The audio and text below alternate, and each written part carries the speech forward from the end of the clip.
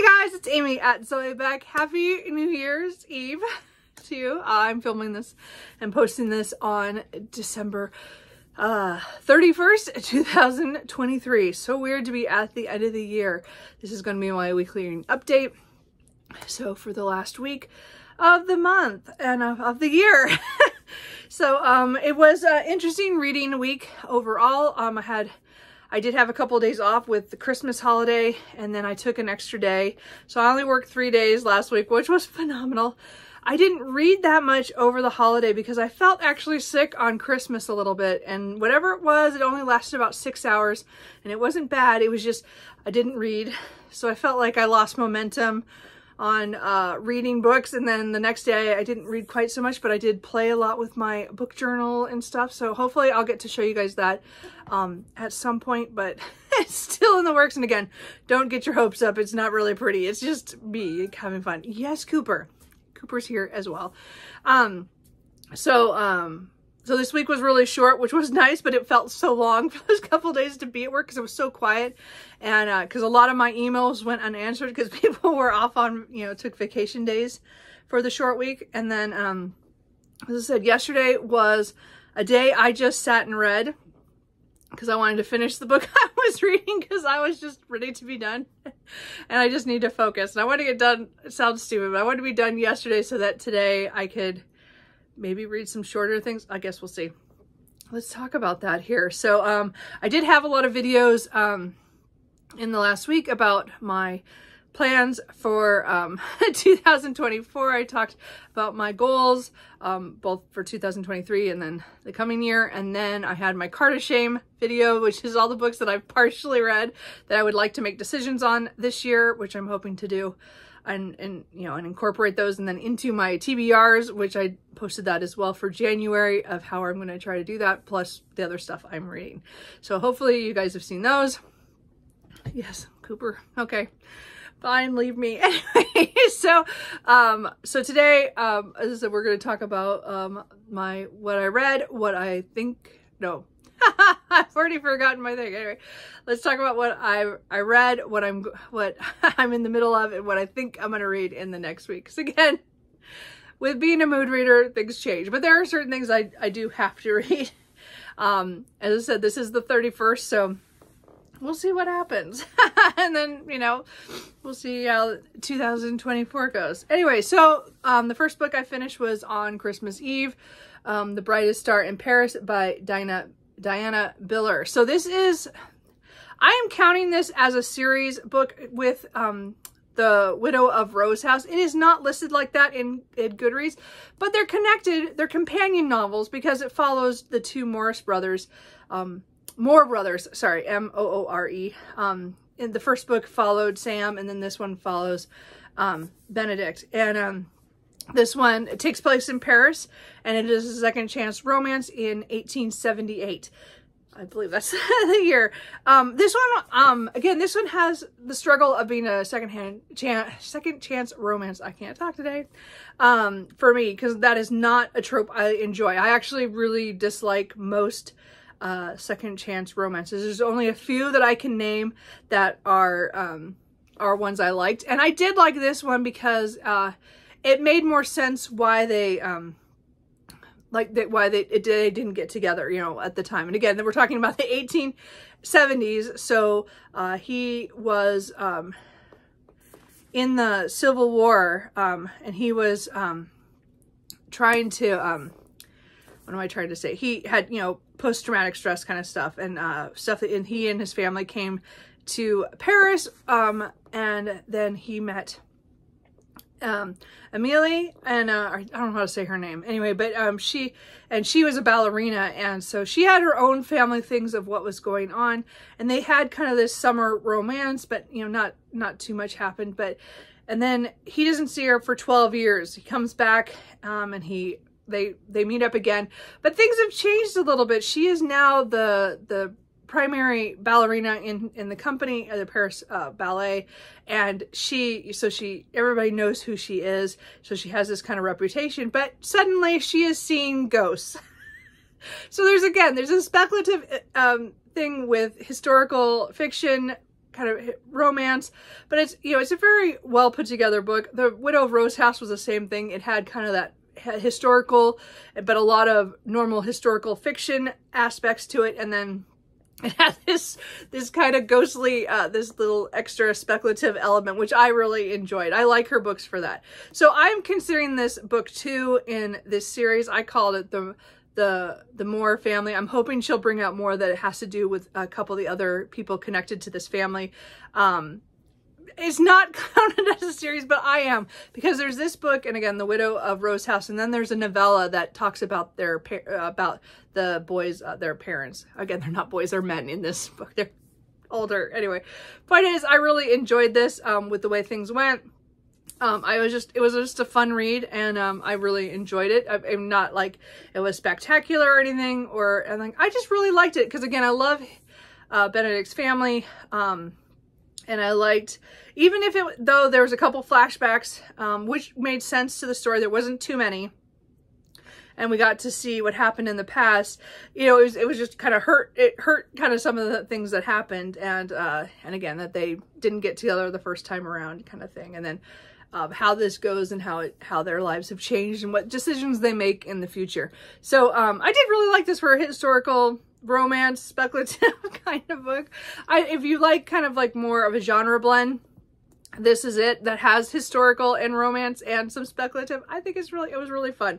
Again um, i would read the widow of rose house first um, just because to me they're a series. You you don't have to i guess but you would get more out of it from the um, when they talk about his family. I just this should be this should be listed as a series in goodreads. I and again it's, i'm just making up a title of the the Moore brothers, but or the Moore family. Um, the Moore family is what I put on my spreadsheet, so I know what it is. But I really enjoyed that overall, and uh, it is a book that I bought a couple years ago that I I, I meant to get to all this year, or you know, last couple years, and I finally um, picked it up.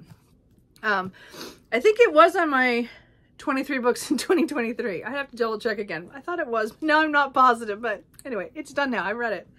And then the only other book that I finished took me the rest of the week was House of Sky and Breath by Sarah J. Maas. I did restart this. So I was 212 pages in, um, in and I read that in early September after I'd finished my reread of House of Sky, of Earth and Blood.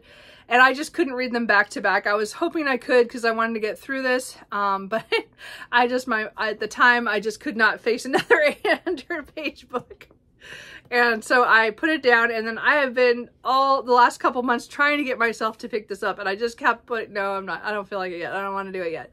And then I, again, we got to the, to the end of the December and I had three huge books that I had not, um, finished and so I picked this one of the ones to fix since I know that the the next book in the series House of Flame and Shadow is coming out at the end of January, so I wanted to be ready for that. And again, this book is, again, the second book in the Crescent City series.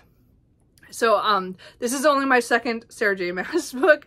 So um, I, this is more urban fantasy, you know, um, fantasy takes place on another world, but it's urban fantasy because the the city that they live in is very technology. You know, it has stuff like you know you would recognize.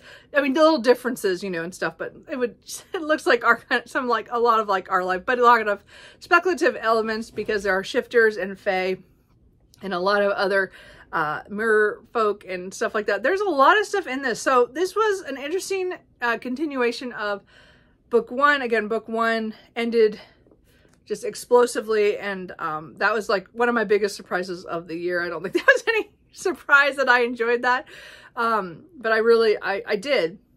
This one was a lot harder of a read for me. Even this took me all week, which is not, it's not, if you look at page count, that is kind of low for me. But with the holiday and then I wasn't feeling very good one a day. And then, you know, it, this one was just harder to get through. I did read the last 200 pages yesterday in order to finish this um, because I just wanted to be done. And I think that was the problem with this is I feel it was too long. Um, I mean, a lot of things that people have said uh, before, I didn't. So when this came out a couple years ago, I did not pay attention because I had not read the first book and I really had no intention of um, trying that book again because I had tried um, House of Sky and Blood, no, House of Earth and Blood um, at one point and just only got like 40 pages in and then I, I DNF'd it. And so I didn't expect to go back to it, but I decided to do that this year. And I'm really glad I did because it was a, it was a great ride um, overall. Um, this one didn't have like a whole section that I detested like I did in that book because there's like 120 pages where I really hate that book. Um, this one was more, um, there were little sections where I'm like, why are we, there's, there's too much, there's, this is taking too long. We're, we're spacing it out and we're not getting to the point. And so I felt like this book was just a little too long. Like I would say at least 100 to 200 pages too long. Um, I think there could have been a lot of little side plots that we really, I don't see that we needed all of them. I, I do like the way she plots and I do like the way uh, things did come together from stuff that happened earlier. Um, she's really good about that where she slipped something in. A few of her reveals were surprises that were really good. There was a couple that I kind of guessed, but it know, it's because she took too long to get to it, so I kind of guessed it by the time we got there. But really, overall, um, I still enjoyed my reading of this, even if there were points where I was like, I don't want to pick this book up anymore. And I think it's because I read too much yesterday. I was just getting to the point where I was getting tired of it, and I just wanted to be done. And it just... it was a lot of pages to read yesterday. And again, I didn't have anything else to do. It was just, it was a lot in one book that I wasn't, it wasn't, it's not a favorite of mine. But I still enjoyed it. I still, the ending, I'm still, okay, now I'm going to go, so today I'm going to go and watch some videos from people who read this when it first came out. People who loved, um, House of Earth and Blood and see what they say because I know that a lot of people were disappointed in this. And again, my problem was is I think it's too long and it's not as tightly uh, put together as the first book. But there still was a lot of good in here. Like there's a lot, as I said, a lot of good things. The ending was explosive. And I need to find out if there's uh, some books I have to read before I pick up book three that comes out in a month. And I was really hoping not to read any of the other series by Sarah J Maas because I have tried uh, both, well, Throne of Glass, I just kind of briefly tried it and I was like, no, you know, that's a little too young for me kind of at the beginning. So I don't know. I mean, I didn't really give that one a shot. And again, everybody always says you have to get a couple books into that before it gets good. so I don't know if I can do that one. And then, um, A Court of Thorns and Roses series. I have DNF'd the first book twice. Once I did, when I first joined uh, BookTube, I did it in uh, 2017. I read uh, a little bit of it. I bought the book and then I got rid, I gave the book to my friend to take to her, her classroom because I didn't want it. And then um, I tried it again on audio this fall. Um, and I, I just didn't have time. So that wasn't a really a real DNF. It was more I didn't have time to listen to it when I got it from the library and I just had too many things going on that I returned it right away. Sorry. Um, so I didn't really give it a shot. So I don't know if you guys have read the Crescent City series and know how things go and stuff and you think that I need to read um, a Court of um, of Thorns and Roses as well. If I need to read that series, let me know what you think. Um, as I said, I might wait to see what people's reviews are on the third book to see if I have to read those. I, I just, I mean, I could just, I just don't know. I might just buy the set of the, the novels and just give it another shot and just, I don't know. I don't know what to do with because of how this ended and what happened. And, um, I have a lot of questions and I don't know any, I don't know the answers and I don't know if I need to be prepared to go into the third book by reading some of um, Sarah J. Maas's other books because that's about all I know. Like I, that's that's about all I want to say. All that because uh, again, I really, it was a really interesting reading experience, and I'm glad I got through it. I'm glad I finished it before the end of the year. And I'm glad I finished it before the third book comes out. So I'm up to date on a series. And uh, I did finish that um, last night. So anyway, I don't know what else to say on that. Just tell me if I need to read, if I need to force myself to get to really try a Court of Thorns and Roses in that whole series. Or think, or you think I should? Because again, I hear good things about the book, second book for sure. Like everybody talks about um, um, Mist and Fury, and I just like I kind of want to get there because everybody talks about it, but I have to get through the first book. So we'll see. Um, so um, what I am in the middle of right now, I did start last night The Sword by J. Bree. This is the uh, second novella that comes before the uh, the Crown of Oaths and something. I didn't get the picture, did I? Oh no, I don't remember what it is. But um, it's another fantasy series. Again, I read um, The Scepter last week. Um, the little novella, they're about 90 pages. So I'm just going to read this one um, and make a decision if I want um, if I want to read the big novel that's like 644 pages. It's definitely an enemies to lovers with fae and witches. And uh, I like inter it's interesting so far. I'm kind of curious. I probably will try to read these. These are all on Kindle Unlimited. As I said, I have Kindle Unlimited for a couple of months. So I do, even though I'm trying to read what I own on my shelf, I'm trying to take advantage of something I, I have for the next couple months and try to get some um, Kindle Unlimited books in my uh, reading. So this is a series I wanted to look at. I think it's The Mortal Fates is the series. Um, something like that. I don't remember. I don't know enough about it. Sorry, guys. But um, this one is following uh, the male perspective that we'll get in the main book and his um, and thing where he's at in when I think right before the book will start. So because now it's many years since uh, The Scepter, which was the first book from her point of view and what she learned and stuff at the time. And then, so it's interesting. I'm, it's a good uh, fantasy series. As said, there's a war going on between the Fae and witches, and they are on opposing sides. And that's about all I want. And they're fated mates. So again, they need to come together, but they hate each other. So right now they're separated. So we'll see what happens. Uh, I do want to, um, read that. I am still in the middle of Wild Scottish Love, which is book two in the Enchanted Highlands series. This one is, is by uh, Tricia O'Malley. So I'm not sure about this one. So I have this also on my my Kindle. I've been reading, you know, as I said, this is another Kindle Unlimited one. I read the first book, um, Wild Scottish Knight, I think. Um, uh last the summer when I had Kindle Unlimited again for a deal and I had it for a couple months. So I liked it, but I didn't love it. And I wanted to at least try it a little bit more to see if this is a series I wanted to continue. I'm not sure I want to. This is about some people who, um, there mostly is about a couple Americans who come over in each, what one in, in, in each book, come over to this little, small little, um, Scottish town who have a Kelpie problem. And there's also some kind of history involved that they their ancestors were somehow connected and they're trying to form some you know they're kind of coming together to protect the area um so it's very it's a modern but has the uh, fantastical elements of the kelpie and um and then and then it's romance and so as well so there's good elements to this I just, I don't know if I'm really getting along with the writing and um, the way things are going together.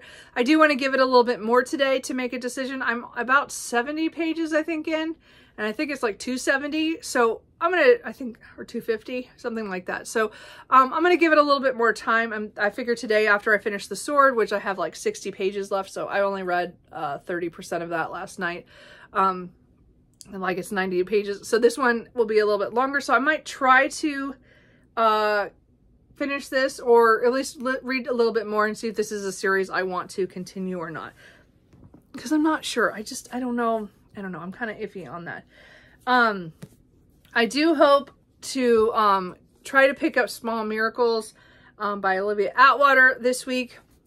I did restart it. So I had, again, I got close to 100 pages when I stopped this summer. But I read two pages at work one of the days because um, I didn't feel like picking up House of Sky and Breath.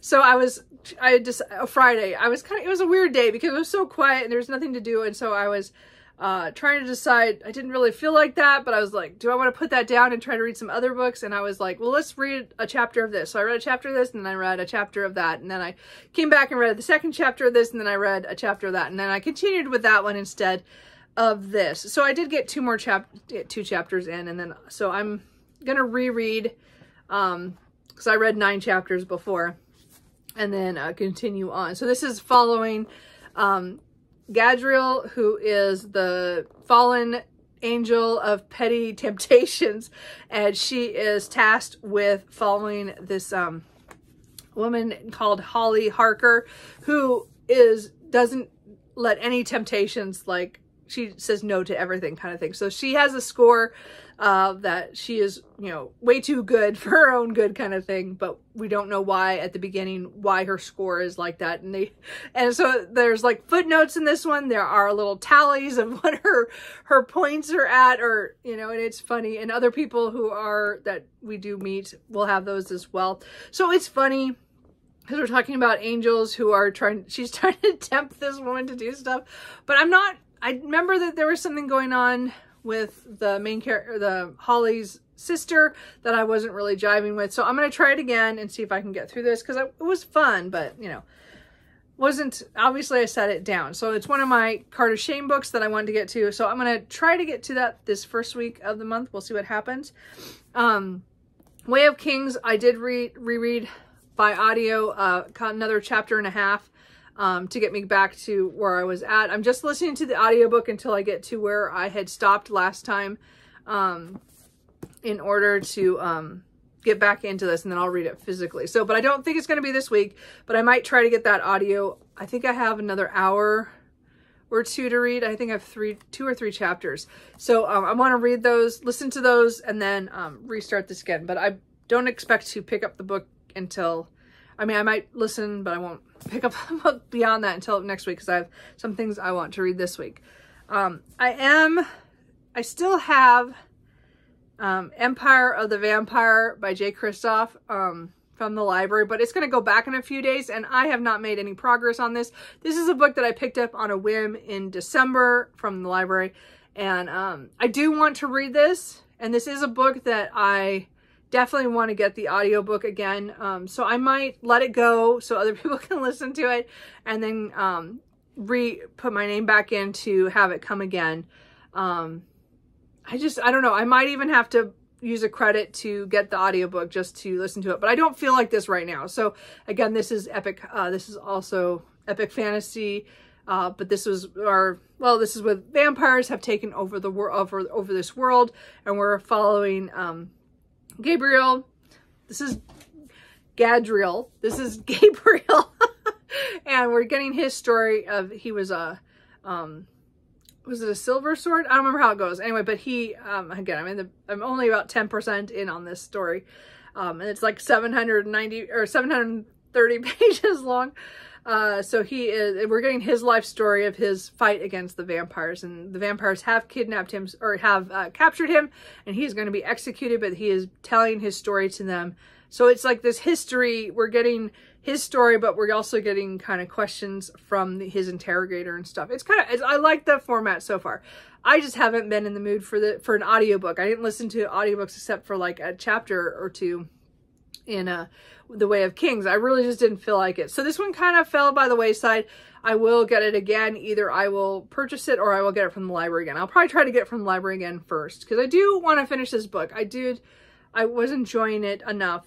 And um, it's definitely a book that now I'm looking at I want to purchase the physical, but I'm going to wait till I finish the audio. Does that make sense? Anyway, we'll see because I'm trying not to buy books, but I, I do want to uh, finish that um, book. I know the next book is coming out in another month or so.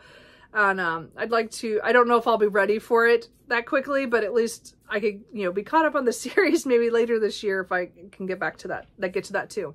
We'll see. Okay, so those are all the stuff I'm kind of in the middle right now. So um, I am starting my buddy read of the Love at Stake series. Um, the book for January um, I'm doing with Berna at Berna's Bookish Adventures is The Undead Next Door uh, by Kerrelyn Sparks. This is book four. I think it's book four. uh, in the Love at Stake series. So these are vampire novels. Most of them take place in New York City. I think this one must take place there too, but the main character, the main uh, vampire, he is from Paris. So I'm not sure what's going on. I'm not quite sure where it takes place, but again, there's, uh, uh, it's, you know, it has to do with, I I, there's a love story. There's there's going to be some intrigue. Something's going to happen. I don't know. I just I just like they're these are just fun uh, paranormal romances. Um, and just they're just enjoyable. So we're doing our buddy read of this first week of the month. We're starting on Tuesday through Saturday. So I should have this done by next week. And um, I have it all marked up, ready to go. Little tabs in there. So um, anyway, I'm looking forward to this. Again, it, it's just a fun um, series, so I'm looking forward to that. Um, I think my first book of 2024 is going to be The Burning Witch by Delemhach. So this is um, the fifth book in the overall the um, the House Witch series, but it's the first book in the Burning Witch series. So I'm not sure um, how many there are going to be. There's at least a second one coming out at the end of January. So um, I'm really looking forward to this. This is following one of the um, children of the, uh, the main people in um, the House Witch the first book, books. There was a bridge book, The Princess of uh, Potential, which I read a couple months ago, which I really enjoyed. And now we're getting um, The Burning Witch, which again, there's at least two books. I'm not sure if it's going to be a duology or a trilogy. It doesn't say on there, but we'll, we'll see how it goes. But I want to get this done before the next book comes out, so I'm caught up on the series. But I think this is going to be my first book of 2024, but just because I have enjoyed all of these books so much. Um, they're cozy fantasy sorry. uh, they're cozy fantasy that um, they're just funny and um, I just I just love the characters in the House Witch uh, trilogy and then um, I did really like the the Princess of Potential and then I'm so I want to see how this character what happens with her because she's pretty fiery that goes with her hair. But she's, I just want to see what happens. I have no idea where it's going to go. And as I said, the next book's coming out soon. So as soon as I'll probably read that fairly soon as well. But I'm really excited for this. So I think that's going to be uh, the book I pick up. That'll be my first read of 2024. So I probably won't pick it up until tomorrow. But today, as I said, I want to finish The Sword. And then I'm going to try Wild Scottish uh, love and if I like it or I don't like it. I do have a couple of small books that I could pick up to uh, to also read if I don't read the Wild Scottish um, Love. I might read The Victorian Chaise Lounge by Maha, oh, how do you say that? Marhat, Nita? Mahogany? I don't know how you say that. Lasky? I've had this on my shelf for years. It's supposed to be like a little um, haunted story. That's about all I remember. And then I have like a translated work, um, The Last Children of Tokyo by Yoko Tawada. Um, this one, I can't remember. This is, has to do with um, an elderly man, I think, telling uh, some stories to uh, his his grandson or something. And I've had this for a couple of years as well. This is translated from the Japanese by Margaret Mitsutani. So um, this one is an author I, I have a hit or miss with, so I want to read this and get this either off my shelf or decide about that. So I don't know. I might pick up one of these. We'll see. Or, or else I'll just start The Burning Witch and probably finish it in 2024, but start it today. We'll see how I feel. I'm not quite sure. I am, as I said, I'm really pleased that I got done with House of Sky and Breath, even though last this morning I'm laying in bed. I'm trying to you know, I'm dozing right before I, I get up in the morning. Um, cause again, it's, it's a Sunday, so I didn't have to get up early. Um, I did go for coffee, but I was laying there just thinking, and I'm like, oh, am I going to have to buy all the other Sarah J. Maas books? Am I going to have to do that? Someone let me know what I should do. Oh, I'm so tempted just to uh, buy the box sets and just, you know, get to them at some point. I don't know. I don't know how I feel about that. We'll, we'll see what happens. So, um, and definitely tell me if I should read the ACOTAR series. Like, if I should just do it and get it, just make myself get through that first book. I know it's supposed to get better, so I don't know. I Maybe I just need to get more than 40 pages in and maybe it'll be fine. I just, I don't know. I don't know what to do. Anyway, so let me know if you have any suggestions on that. And if you've read House of Sky and Breath, and let me know what you thought about that. Or let me know what you are reading um, as you cross over into the new year? Are you one of those people who are going to try to finish up a lot of things right before the end? Or are you going to just read whatever you're reading over and cross over? I'll see what I feel like. It just depends on how my reading goes today, uh, what I do. But for sure, one of the first books I'm going to pick up in the new year will be The Burning Witch. And then again, my buddy read starts on the second. So we'll see how it goes. So anyway, um, that's it. I will talk to you guys later. Bye.